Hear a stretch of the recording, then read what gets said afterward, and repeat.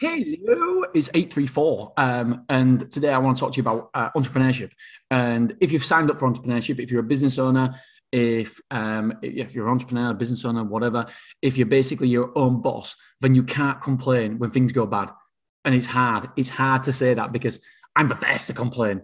Um, but entrepreneurship is like a roller coaster. Being a business owner is like a roller coaster, uh, and it's it's almost like saying you want to get off when there's the dips, when there's the um, loop the loop, when there's the the big fall.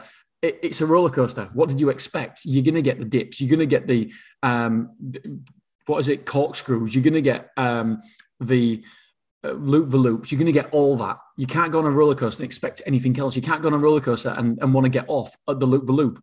It's life. That's what happens. It's a ride. And entrepreneurship, my friends, is exactly the same.